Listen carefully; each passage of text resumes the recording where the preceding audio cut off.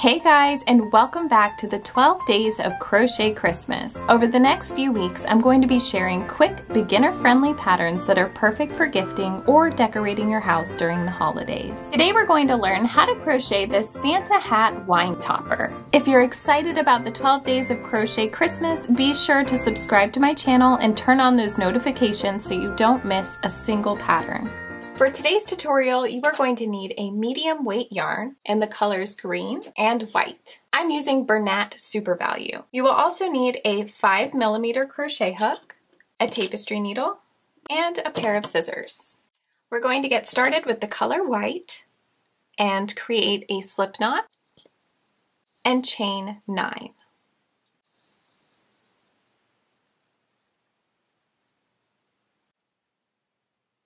Half double crochet into the third chain from your hook. So to half double crochet, yarn over, insert your hook into that third chain, yarn over, pull up a loop, three loops on your hook, yarn over, pull through all three.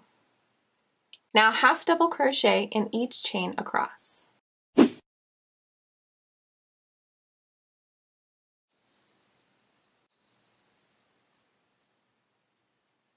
For row two, chain two, and this chain two does not count as a stitch, and turn your work. Now we're going to half double crochet into the back loop only of each stitch across. So to work into the back loop only, you're going to look at the top of your stitches, and the loop closest to you is the front loop. The loop furthest from you is the back loop. So we're going to yarn over and insert our hook into that back loop only. So you're going right in between the V and catching that back loop only.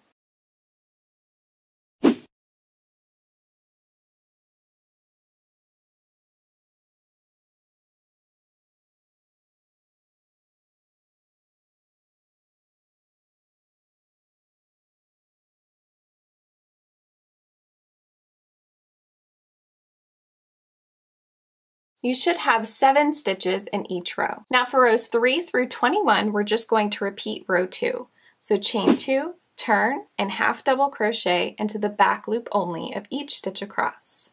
Now I say to do this through row 22, but it might be different for you depending on how big your bottle is whether you're making this for a wine bottle or a beer bottle even. Most wine bottles are generally the same, but some are different. So you'll want to make sure that you measure the circumference of your bottle, and you'll want to make this band one inch shorter than the circumference of your bottle. So for example, the bottle that I'm using is about 10 inches in circumference. So I'm going to make this band about 9 inches long. At the end of round 21, or once you reach your desired length, you're going to fold your work in half and slip stitch these two rows together. So to do that, you're going to insert your hook into that first stitch and then catch the first stitch from your foundation row. Yarn over, pull through, and through the loop on your hook. And just continue slip stitching down the row.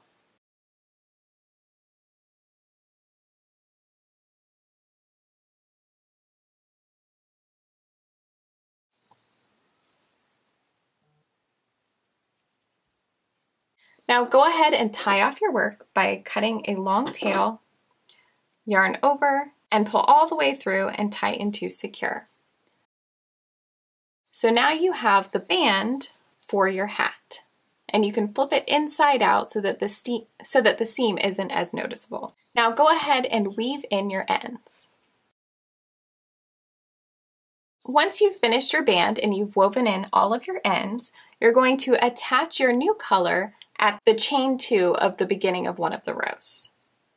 So we'll hold it up right there. Grab your new yarn and create a slip knot. And this yarn is going to be what makes your hat. So you can make it any color that you prefer. So create a slip knot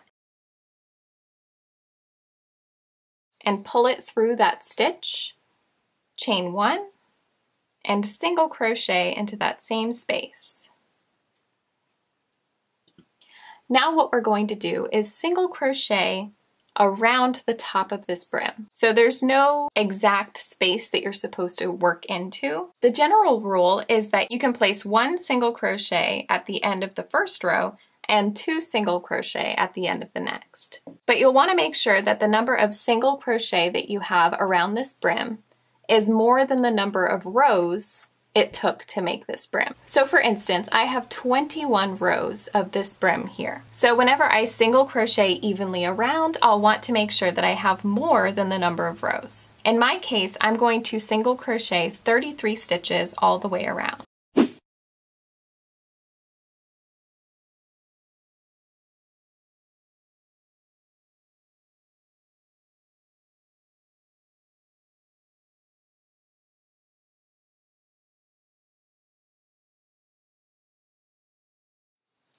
Once you reach the beginning of the round, slip stitch to that first single crochet. Now chain two, and we're just going to double crochet in each stitch around. This chain two doesn't count as a stitch. To do that, you're going to yarn over, insert your hook into that first stitch, yarn over, pull up a loop, three loops on your hook, yarn over, pull through two, yarn over, pull through two.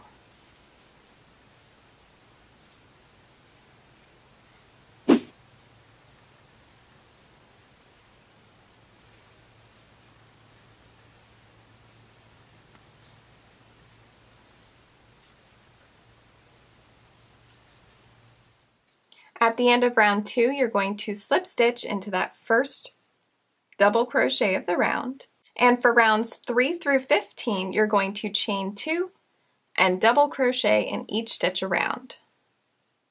So we're just repeating row two. Now again, these amount of rounds really depend on how tall your wine bottle is. If your wine bottle is shorter, then you can decrease the number of rows and head straight to the decreasing section to make the top of your hat. If it's taller, which I think mine is the tallest of the tall, then you'll just add some rows. Once you reach the end of round 15, this is what your work should look like. For round 16, we're going to chain two, and double crochet two together into the next two stitches. So yarn over, insert your hook into that first stitch, yarn over, pull up a loop, yarn over, pull through two. Now yarn over, insert your hook into the next stitch, yarn over, pull up a loop, yarn over, pull through two. Now yarn over and pull through all three loops. And that's your first double crochet two together, also known as a decrease. Now double crochet into each of the next two stitches.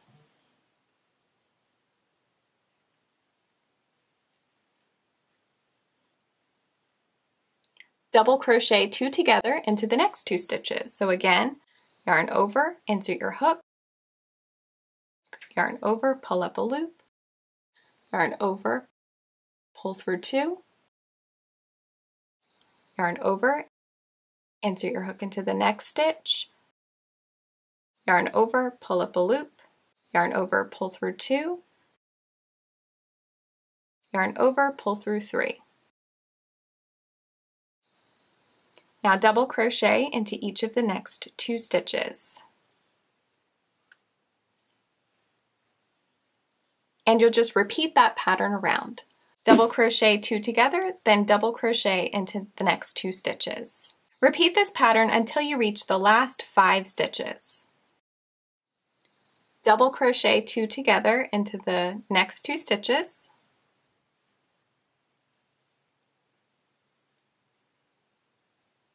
And then double crochet into each of the next three stitches.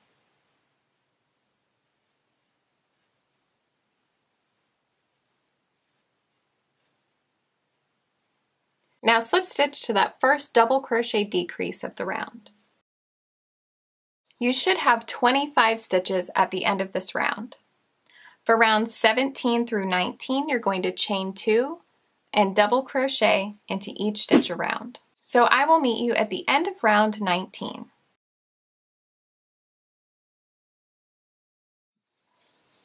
At the end of round 19, slip stitch to the top of your first double crochet of the round and for round 20, we're going to repeat round 16. So chain two and double crochet two together into the first two stitches.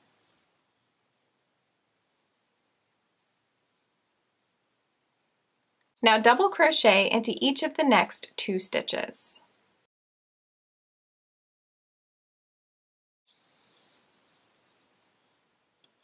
Double crochet two together into the next two stitches.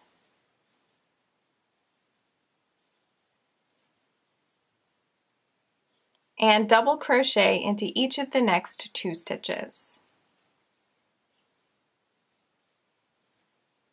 And just repeat that around until you reach the last five stitches.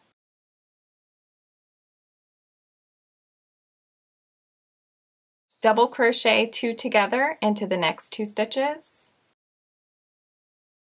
and then one double crochet into each of the last three stitches.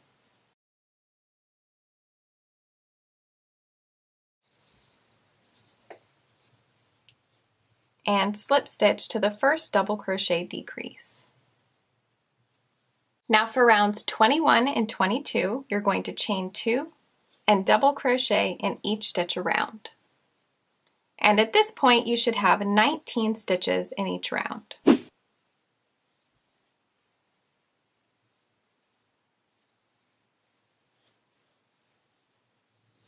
At the end of round 22, slip stitch to the first double crochet of the round. And for round 23, we're going to chain two and double crochet two together in the first two stitches.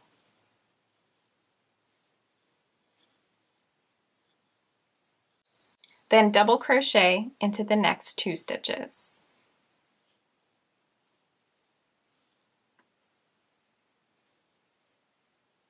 Double crochet two together.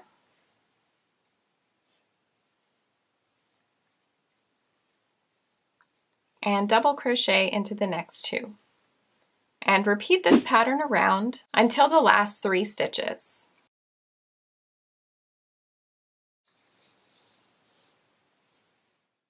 double crochet two together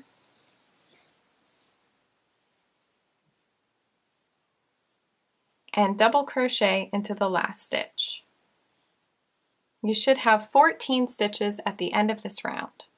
Now slip stitch to the first double crochet decrease. Now for rounds 24 and 25, we're going to chain two and double crochet in each stitch around. So I will meet you at the end of round 25.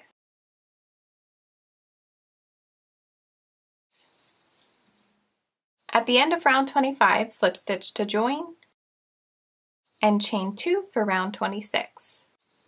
Double crochet 2 together and then double crochet into the next two stitches. And repeat this to the last two stitches. So again, double crochet decrease,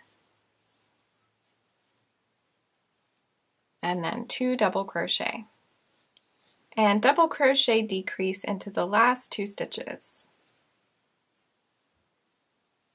Slip stitch to join. And for rounds 27 through 30, we're going to chain two and double crochet in each stitch around.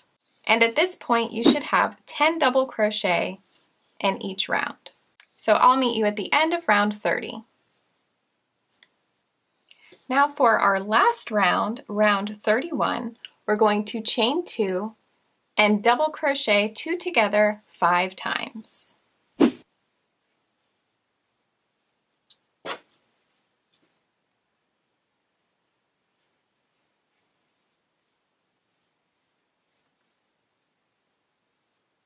Now slip stitch to join and tie off your work. So leaving a couple inches to weave in your ends, cut your yarn, yarn over, and pull that strand all the way through and pull to tighten.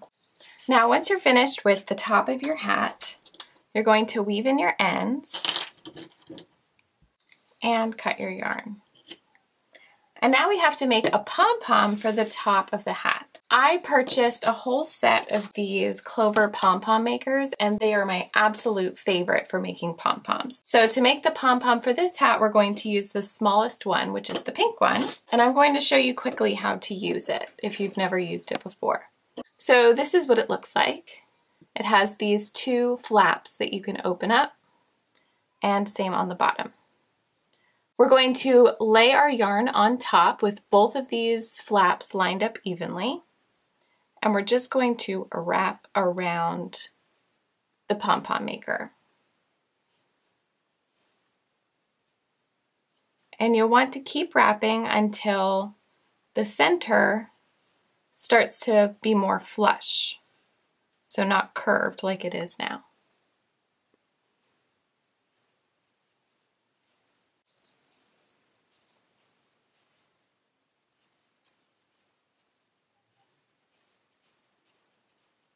Once you start to fill it up, you're going to want to end on this side here. Turn it over and see how it's folded over onto these. You don't want that. So you're going to push it over so that it's all in the center, like that. And then you're going to fold it down and then turn it so that you're facing the other side and bring your yarn in between these two and then start wrapping on the other side.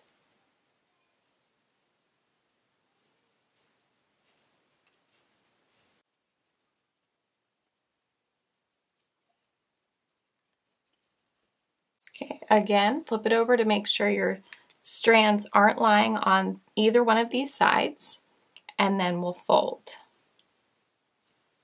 So this is what it should look like. Now cut your strand of yarn.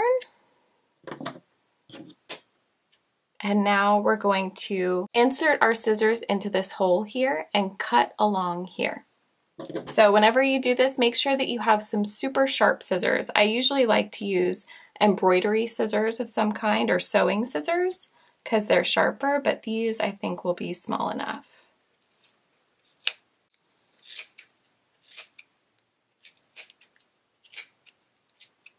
Okay, so that's what it should look like. And then flip it over and do the same on the other side.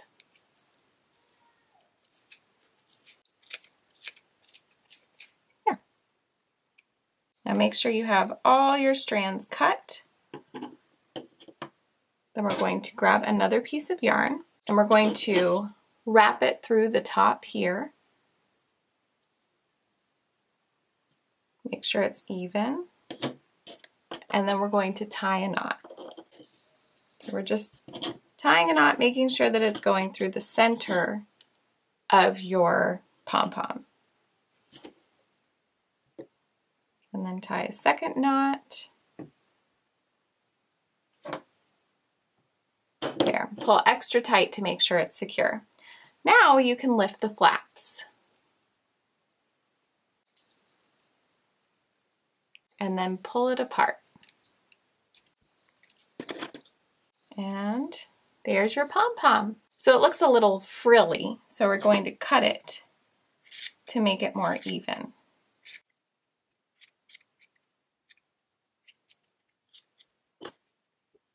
There you go. So now you have your pom-pom that you can attach to your hat. I'm just going to use my tapestry needle to stick it on the inside of the hat. And then I'm going to do the same with the other side, but I'm going to make it so that the strands are a little bit next to each other so that I can tie them together. And then weave in my ends. And if you have a tapestry needle with a larger eye, you can just weave these in together. There you go. Now you have your wine bottle Christmas hat. Just make sure to weave in all, that all ends and you're finished. I hope you enjoyed today's tutorial on how to crochet a Santa hat wine cozy. Tag me on Instagram at Sigoni Macaroni or inside the Facebook group with all of your makes. And remember that over the next few days, I'm going to be sharing a quick beginner-friendly giftable pattern for the 12 days of Crochet Christmas. So be sure to subscribe to my channel and turn on notifications so you don't miss a single pattern. I'll see you in the next one.